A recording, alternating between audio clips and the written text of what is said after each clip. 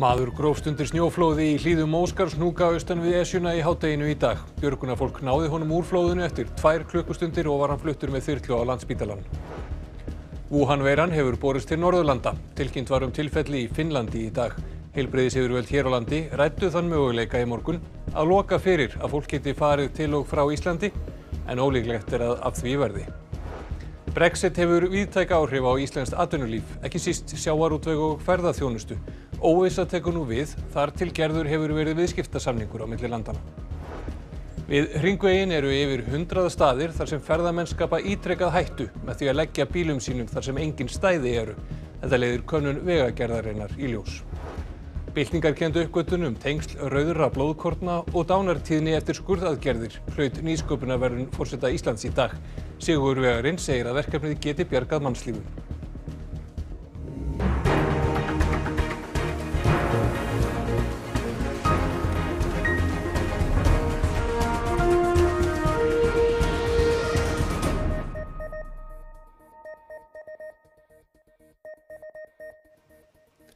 Gott kvöld. Maður varð undir snjóflóði í vestanverðum Óskarsnúkum í dag. Björgunarfólk náði honum upp tveimur klukkustundum eftir að flóði fjell og var hann fluttur með þyrlu á landsbítalan. Ekki hafa fengist upplýsingar um ástand hans. Kuldi gerði aðstæður til leitar krefjandi. Þrýr menn voru á göngu vestan megin í þverfelli þar sem gönguleiðin er upp á Móskarsnúka þegar flóðið fjallum klukkan hálf eitt. Flóðið hreyf tvo þeirra með sér en annar þeirra grófst ekki undir því. Sá var fluttur með sjúkrabíl á landsbítalan. Þriðji maðurinn ringdi í neyðarlínu og voru allar björgunusveitir á höfuborgarsvæðinu og nágræni kallaðar út, auk lögreglu, slökkulis og þyrlu landhelgiskeslunar. Vettungur var hér upp í fjalli og hérna það er mjög krefjandi aðstæður, það er kallt úti og hérna þó að sé bjart. Við vorum til dæla fluttir að afmarka svæðin, punkt, punktið það sem við komandi var og það gekk mjög hratt og vel að móka frá viðkomandi. Láru segir að greinar góð lýsing hafi fengist frá samferðamanni um hvar mannin væri að finna í flóðinu og það hafi hjálpað til við leitina. Maðurinn náðist upp eftir klukkustundar leit tveimur tímum eftir að flóðið fjall. Hversu kræfindi er þessar aðstæð? Þú talar um kulda og eitthvað annað sem að spila hérna inn í? Það spilar inn í að þetta var við á þannig að það er vatn sem að spila hérna inn í líka. Þannig að aðstæður eru mjög krefjandi. Þess vegna sendum við, við erum með cirka eitthvað á annað hundra manns á sem að koma að þessar aðgerð og við tökum þessu svona hlutum mjög alvarlega og sendum út allt hægasta fólk. Samkvæmt upplýsingum frá ofanflóðavakt viðstofu Íslands hefur verið óstöðugur snjór á svæðinu. Flóðið sem þarna fjall sé mjög lítið en það hafi fallið ofan í þröngt gil. Annað lítið flóð fjall á svipum stað þegar leit var lokið í dag. Mart útvista fólk hafi verið í fjöllum á þessum slóðum í dag en verið sem snjór sé óstöðugur á litlum afmörkuðum svæðum og er fólk hvatt til að fara varlega. Svæðið spundna snjóflóðspáin var gul í morgun en var uppfærði í appi sínu guld nú síðdegis og gildir það til morguns. Fjöldi flugfélaga hefur hætt eða dreyið úr flugi til Kína vegna Wuhan-veirunar. Veiran hefur nú borist til Norðurlanda. Kínverjar ráðleggja fólki að fara ekki bynd á sjúkrahús ef það veikist til að koma vekk fyrir frekara smitt. Nú hafa yfir 130 manns látist af völdum Wuhan-veirunar í Kína. Tæplega 6.000 tilfelli hafa greinst í átján löndum. Nú síðast greindist veiran í kínverskum ferðamanni í Finnlandi, þannig að veiran hefur borist til Norðurlanda. Ja tämä on osoitus siitä, että EU-maissa on, on aika vahva osaaminen tartuntatautien torjuntaan ja uskoisin, että meillä Suomessa on vielä aivan erityisen vahva. Kínversk heilbriðisifirvöld hafa bent fólki á að nota farsíma til að láta vita um mögulegum minkinum, ekki fara beint á sjúkrahús.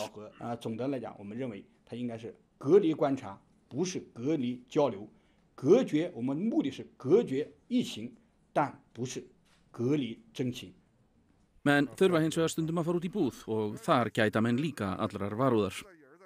Einnig að greipi til ráðstafana annar staðar. Á flugvöllum í það um heim er farið að skima farþega sem koma frá Kína. Yfirvöld nokkur að ríkja hafa gripið til þess ráðs að sækja þegna sína til Wuhan. Ríflega 200 Japanar lendu í Tókíó í morgun og voru 12 þeirra færðir beint á sjúkrahús. Þá lendu 200 farþegar frá bandaríkjunum í Alaska snemma í morgun. Frakkar og brettar hafa gripið til svipaðra ráðstafana. Brettar hafa ákveðið að þeir sem koma þangað frá Kína fari í sótkví í tvær vekur. Fjölmörg flugfélög hafa dreyið úr flugi til Kína vegna veirunar. British Airways og Lion Air í Indonésiu hafa hætt öllu flugi til Kína. Yfirvöld í Kazakstan gera það sama á næstunni en þau hafa þegar hætt að gefa út vegabrefsáriðanir til Kína. Stærsta flugfélag Myanmar hyggst einnig hætta öllu flugi fljótlega. Þá hafa sjö önnur flugfélög dreyið úr ferðum þangað eða hyggjast gera það. Þar á meðal Air France, Finnair og United Airlines. Fleiri flugfélög skoða málið. Fulltrúar heilbreyðis yfirvalda rættu þann möguleika á fundi sínum í morgun að loka fyrir að fólk geti farið til og frá Íslandi vegna Wuhan-verunar. Sotvarnalagnir segir að handþvottur gerir mun meira gegn en grímur í baráttunni við veruna. Engin grunur er um að Wuhan veiran sé komin hingað til lands að sög sóttvarnalagnis. Fylgsi með útbreyslu veirunar út í heimi og skert á viðbras áallun hér á landi. Fulltrúar landlagnis, almannavarna landsbítalans, heilsugjæslunar og fleiri hittast nú á daglegum fundum vegna stöðunar sem upp er komin. Á fundunum í morgun var sá möguleiki rættur að loka hreinlega landinu fyrir bæði flug og skipaumferð. Það var rætt svona formlega í, í, í morgun með þessum aðilum sem voru á þessum fundi og, og það var svona samdóma álit að það væri eh, ekki gerlegt að gera það ef að mann ætla að loka landinu þá þyrfti það að vera í marga mánuði, kannski 6 til 12 mánuði og ég held að hljóti allir að sjá það að það myndi aldrei ganga upp fyrir Íslands samfélag. Þórólfur segir erfitt að takmarka fólksflutninga til og frá landinu. Hins vegar miði viðbræða því að koma veiku fólki strax í einangrun. Þá er verið að koma á kerfi sem sendir SMS skilaboð til allra ferðamanna sem hingað koma þar sem þeir fá upplýsingar um hvernig eigi að breyðast við ef þeir veikjast. Fjölmarkar grímur hafa selst hér á landi en Þórólfur segir að þær gerir lítið gagn. Það hafa ekki mikið að segja því aðal smitleiðin er snertismitt og vissulega getur smitt borist til manns ef einhver hnerrar eða hóstar svona mjög nálat manni innan tvekja metra eða svo. Þannig að það er fyrst og fremst handþvottur, notukun á spritti, handþvottur, hugsanlega hönskum sem að mun venda mann. Þórólfur segir að það taki mörg ára þróa bóluefni gegn veirunni og mjög óljóst sé hvort veirulif virki. Fréttir frá Kína séu enn óljósar en þó sé ljóst að þeir sem hafi dáið að völdum veirunar sé aðalega fólk sem var með undirliggjandi sjúkdóma. Við erum alltaf að fá nýja fréttir á hverjum degi og það kann vel að vera að, að upplýsingar næstu daga og næstu vikuna bendi til þess að hún sé kannski ekki alveg eins gæð eins og við heldum. Það er það bara ánægilegt en við göngum út frá því í okkar viðbröðum að hún geti verið orðið útbreytt ef hún kemur og hún geti orðið skæð. Engar vísbendingar eru um að kvika sé komið nálagt yfirborði jarðar á Reykjanesskaga. Þetta sína gasmælingar sem sérfræðingar veðurstofunar gerðu umhverfis Þorbjörn í dag. Nýjustu GPS-gögn sína hins vegar að enn rís land vestan við fjallið. Það hefur risið um 3 cm frá 20. januar. Vísindamenn segja þetta langtíma atburð og því þurfa að fylgjast áfram vel með mælingum. Nokkrir jarðskjáltar hafa orðið næri Grindavík í dag og í morgun sá stærsti var 3,5.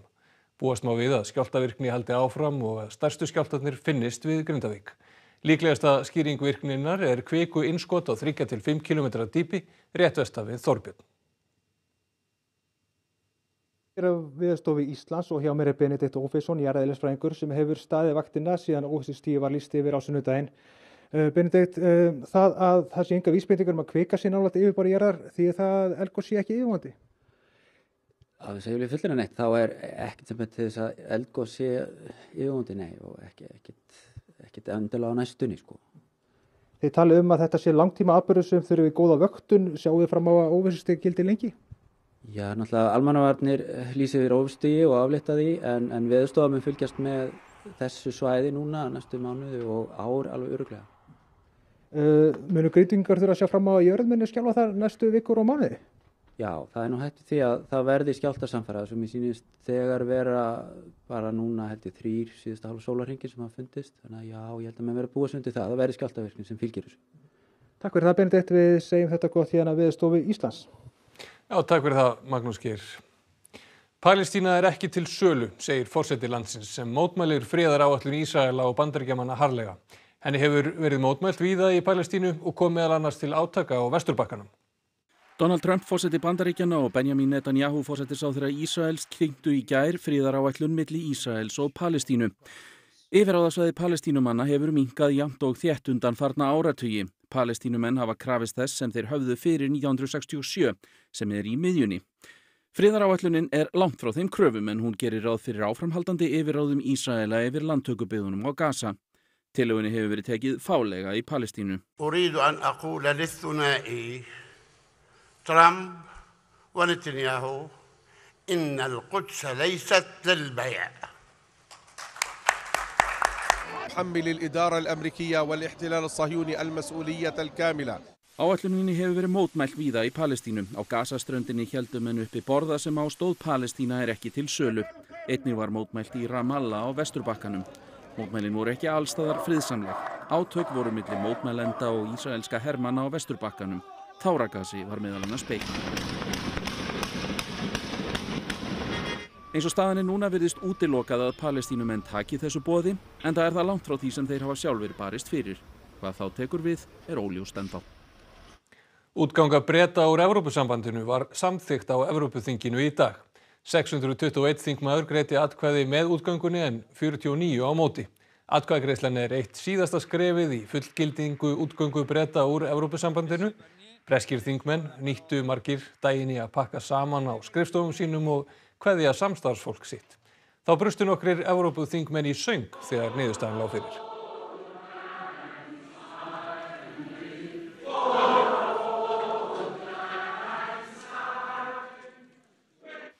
Nokkur óvissa er um framtíðar viðskipti Íslendinga og breyta eftir útgöngu breyta úr Evrópusambandinu.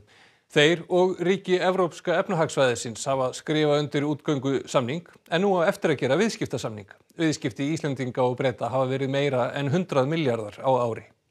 Útganga breyta úr Evrópusambandinu hefur viðtæk áhrif á Íslands atvinnulíf. Um 12% alls útflutnings frá Íslandi fer til Breitlands. Breitland er líka þriðja staðsta viðskipta land Íslands með þorsk og sjávarafurðir. 300.000 breskir ferðamenn koma til Íslands og hér búa um 1000 breytar. Ef við horfum út, út frá heildar umfangi útflutnings að þá eru 10% bæða vöru og þjónustútflutningi að fara til Breitlands. Þannig að þetta eru miklar fjárhæðir sem að má segja eru yfir 100 miljard á hverju ári, nær 150 myndi ég ætla. Þannig að þetta hefur áhrif á margar greinar atvinnlífsins, þetta hefur áhrif á sjárótvegin og þetta hefur auðvitað líka áhrif á ferðarþjónustuna sem og aðra atvinnugreinar. Bretar ganga úr Evrópusambandinu á föstudaginn og þá hefjast samningaviðræður þeirra við ríki sambandsins og við þau ríki sem eiga aðild að Evrópska efnahagsvæðinu. Þjóðirnar hafa 11 mánuði til að semja. Auðvitað eru framöndan ákveðin óvisa hvernig tiltekst að, að fyrir breyta og auðvitað Evrópusambandi að semja. Still a little bit of uncertainty, which is based around the fact whether we get a trade deal or not. I, th- I think an easy way to describe it is what we've gone through so far has been Brexit Part 1, the divorce. We're going to probably go through Brexit Part 2, the settlement, and it could be as bumpy a road as, as the Part 1. If the UK leaves without a trade deal, I say that's not expected, but if it leaves without a UK trade deal, then we'll have to adapt our markets to meet the tariffs. Öll óvissa í í hérna atvinnulífi, efnagsmálum og öðru slíku bitnar að jafnaði á ferðalög fólks. Breskum ferðamönnum fækkaði í fyrra þegar að almennt dró úr flugi.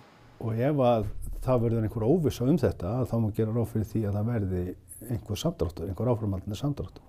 Flugfélög innan Evróska efnahagsvæðisins hafa mátt fljúa vild innan svæðisins ef þau uppfylla almenna reglur.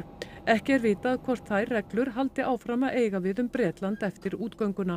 Það er ljóst af fréttum að EasyJet hefur, hefur haft áhyggjur af því hvaða áhrif Brexit kunni hafa þeirra rekstur. Þannig að það getur vel verið að, að, hérna, að við sem þegar farin að sjá áhrif þar því að EasyJet er búið að draga úr flugi til Íslands. Vegagerðin hefur ekki úr nægu að spila til þess að hægt sé að bæta umferðaröryggi, segir forstjóri vegagerðarinnar. Ferðamenn skapa ítrekkað hættu með því að leggja við hringvegin þar sem engin stæði eru. Erlendir ferðamenn hafa sett mark sitt á hringvegin. Margir hafa mætt ferðamönnum á gangi á veginum, bílum lagt í kanti eða bílalegu bíl sem stöðvar er skindilega á miðjum vegi.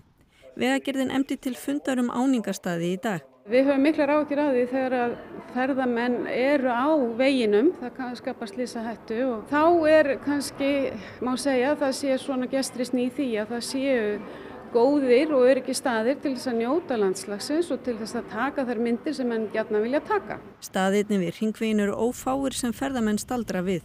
Ég fór hann að hringvegin og skráði 102 staði en oft, þeir eru raun og verið fleiri því oft er þetta vegkablar sem eru raun og veru með sama útsinni en sem að hægt að væri eða vonandi, sem er allt í freistandi með góðum áningarstað og merkingum væri þá hægt að smala þessu fólki af þessum vegkabla inn á örugari stað til myndadöku. En það eru alltaf nýjar áskoranir og til dæmis að brekkukoti þennan dreifjöllum að þá er orðin hefði núna að fólk skilur eftir brjóstahaldara á gyrðingunni og, hérna, og þetta eru langur vegkabli og umferðin breytist alveg greiðilega þarna. Fólk hægir á sér, það stoppar, vill ná, ná mynd. En það er ekki síður veðrið og vetrarfarð sem veldur hættu í umferðinni. Sex alvarleg slís hafa orðið í umferðinni í janúar. Er ekki eitthvað sem þarf að breyta til þess að reyna að spórna gegn þessu? Já, ég held að við séum að takast á við þá gríðarlega áskorun að umferð hefur aukist um 50% á bara síðan 2013 og mikið af því eru ferðamenn. Það er alveg ljóst að við hjá vegagerðin erum að nýta það fyrir sem við höfum í svo kallar umferðaröryggisaðgerði. Það sjálfsögð þarf að gera miklu meira í því því að við erum að fá alltaf að notkuna þetta vegakerfi heldur en upphálega stóð til. Hvað er það sem að stoppar? Já, það er nú sjálfur sér, er náttúrulega fyrst og fremst fjármagn sem stoppar. Læknanemi sem skoðaði tengsl á milli stærðar rauðura blóðkortna og dánartíðni eftir, dánartíðni eftir skurðaðgerðir hlaut í dag nýsköpunarverlun fórseta Íslands. Hann segir þess að uppgötun geta bjarga mannslífum. Verlunin voru veitt í 2005. skipti á Bessastöðum í dag. Í erindi sínu gandaðist fórsetin með nýsköpunarstjórnina svokölluðu sem var við völd frá 1944 til 1947. Árið 44 þegar stjórnin tók við áttum við í digrum gjaldeyri sjóðum um 86 miljónir bandaríkjadala. Og við nýsköpuðum og nýsköpuðum með svo glæstum árangri árið 1947 áttum við innan við eina miljón dollara. Og þá var komið að því að tilkynna sigurvegaran. Verðlunahafinn er Halldór Bjarki Ólafsson og gefum honum gott klapp. Halldór Bjarki er læknanemi við Háskóla Íslands sem þróaði verkefni þar sem tengsl á milli breytileika í stærð rauðra blóðkortna og dánartíðni eftir skurðaðgerðir eru könnuð. Niðurstaðan er svo að aukin breytileiki eigur hættu á að sjúklingar degi eftir aðgerðir. Þá myndi þetta í raun og veru breyta því hvernig við vinnum upp sjúklinga fyrir skurðaðgerðir og með það að markmiði að sjúklingunum farnist betur og ávinningurinn er gífurlegu bæði fyrir sjúklingana og einnig fyrir heilbíðiskerfið í sambandi við tilkostnað sem að annars myndi vera eitt í fylgikvilla og, og vandamál eftir aðgerðir. Getur þetta berga mannslífum mögulega? Gögnin tala fyrir sínu ef að, ef að einstaklingar eru með ekki þennan breytileika og farið skurðagerir að þá er minni líkur að, að, að þeir degja eftir skurðageri eða fái fylgikvilla. Álag á vakt Veðurstofu Íslands hefur aukist eftir að viðvörunakerfi var tekið upp fyrir rúmum tveimur árum. Það getur verið snúið að koma mikilvægum og flóknum veðurupplýsingum til almennings. Veðurfregnileg Sigþrúður Ármannsdóttir. Veðurhorfur á landinu til meinættis annað kvöld. Það er fyrst viðvörun. Gul viðvörun er í gildi fyrir Suðurland, Faxaflóa, Breiðafjörð, Vestfyrði, Suðausturland og Hálendið. Landinu er skipt upp í viðvaranasvæði og tölverð vinna að skrifa fyrir hvert og eitt fimm daga fram í tíman. Áður voru bara gerðar viðvaranir fyrir allt landið ef úrkoma og vindur fóru yfir ákveðin mörg. Nýverið tók veðurstofan yfir spágerð fyrir flugvöllin í Vógum í Færiðum og um leið fjölgar starfsmönnum á vaktinu um einn. Þegar það koma svona veður uh, dag eftir dag eftir dag þá náttúrulega ykst álægið mjög mikið. Þannig að það er mikill kostur að geta verið með þrjá veðurfrænga á vakt. Er svona aðeins dreifir þá vinnu á læginu á millið þeirra þannig að við getum bara reynilega að hugsa betur um starfsfólkið okkar. Veður viðvaranir hafa gefist vel en að telja veðurfræðingarnir að þær komi skilabóðum um vond veður betur til almennings. En það er ekki einfalt að gera viðvaranir því kröpp lægð á þriðu degi í ágúst veldur líklega ekki jafn miklum usla og svipuð lægð í januar. Við erum með náttúrulega ákveðina veður þröskulda, getur við sagt. Þar sem að eru kannski ekki alveg nýður njörfaðar í stein því að það fer líka eftir ástíma, það fer eftir hvaða dagur vikuna það er, hvenar að deginu það er, hvað er búið að vera á undan. Það er ímsett annað sem þarf að meta í raun. Sko þær hafa þetta verið mjög djúpar. Það hefur verið mjög merkjöld að það hefur verið mikill háþrýstingur yfir Evrópu þannig að við höfum verið að sjá sko lagð eftir lagð sem fyrir undir 960 millibur og jafnvel undir 950. Það er svolítið sérstakt og við höfum tekið sérstaklega eftir því. Núna undarfarna vikur þá hafa verið að mynda svo kallar pólarlæðir gerðnan í kjölfarlæðana þannig að gamla læðamiðan er kannski einhverstað í kringu landi en upp úr læðamiðinu kannski myndast þrjá, fjórar, fimm smálæðir og það er eiginlega sko, það hafa tölvilíkunin átt í dalti miklu basli með að svona negla nákvæmlega hvar það er alltaf að vera. Er erfitt að átta sig á hvaða læðið er að fara að skella á? Nei, það er kannski ekki erfitt að átta sig á því og við sjáum það ágætlega, við erum með svona sapn af líkunum sem hafa reynst okkur mjög vel. En hvernig ná að koma því að framfæra að veðri breytist kannski á fjóra-fimm mismundi vegu bara næsta sólarhingin eða næstu tvo sólarhinga. Þannig að fólk skilji og viti hvernig það á bregðast við. Það er hins vegar mjög snúið og getur verið snúið. Vaksandi austanátt í kvöld með snjókkomu, 15 til 23 í nótt, kvassast siðst. Hvað er upp á í kvöld? Herði, ætlum við að ræða við Stefán Eiríksson sem er nýr útarfstjóri. Það var tilkynnt í gær um ráðningu hans. Við ætlum að spyrja út í framtíðasín hans fyrir ríkisútarfið og reksturinn, hvar hann sjáu sóknarfæri og tækifæri fyrir ríkisútarfið og hvort hann ætli kannski að ráðast jafnvel í einhverja róttakar breytingar þegar hann tekur til starfa. En það er sem sagt Stefán Eiríksson, nýr útarfstjóri. Kastljósi. Fylgjast með því. Og þá Á morgun er útlitt fyrir norðlæga átt, bjartviðri og sumstaðar talsvert frost sunnan og vestan til en jæljaluft með norðuströndinni. Hvessir af norðvestri með samfældri snjókomu norðaustan til annað kvöld. Eilin Björk Jónasdóttir viðfræðingur fer yfir veðrið að loknum íþróttum og það er Kristjana Arnarsdóttir sem er með íþróttafréttinar í kvöld. Skíðakapin Hilmarsnær Örvarsson vann gull í stórsvíi á Evrópumótoraði fatlaðra í Alpagreinum í dag. Rafael Nadal fjallur leika á opna ástrálska risamótinu í tennis. Novak Djokovic myndist korfubáltagóðsagnarinnar Kobe Bryant eftir sigur í áttamanna úrslitum mótsins. Kobe Bryant var einnig minnst á óhefbundnari hátt í heimsbyggarnum í Alpagreinum í dag. Og þá ætlum við að rifja upp það sem var helst í þessum fréttatíma. Maður grófst undir snjóflóði í hlýðum Móskarsnúka austan við Esjuna í hátteginu í dag. Björgunarfólk náði honum úr flóðinu eftir tvær klukkustundir og var hann fluttur með þyrlu á landsbítalan. Wuhan-veiran hefur borist til Norðurlanda. Tilkynnt var um tilfelli í Finnlandi í dag. Heilbriðis yfirvöld hér á landi rættu þann möguleika í morgun að loka fyrir að fólk fari til og frá Íslandi en ólíklegt er að af því verði. Brexit hefur víðtæk áhrif á Íslenskt atvinnulíf, ekki síst sjávarútveg og ferðaþjónustu. Óvissa tekur nú við, þar til gerður hefur verið viðskiptasamningur á milli landana. Við hringvegin eru yfir hundrað staðir þar sem ferðamenn skapa ítrekka hættu með því að leggja bílum sínum þar sem engin stæði eru. Þetta leiður konun vegagerðarinnar í ljós.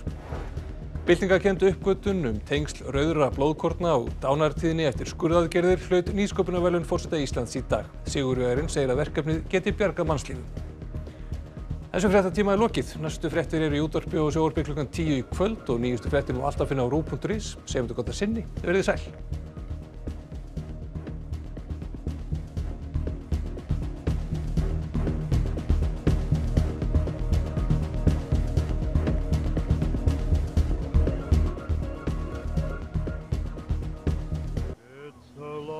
Á RÚV í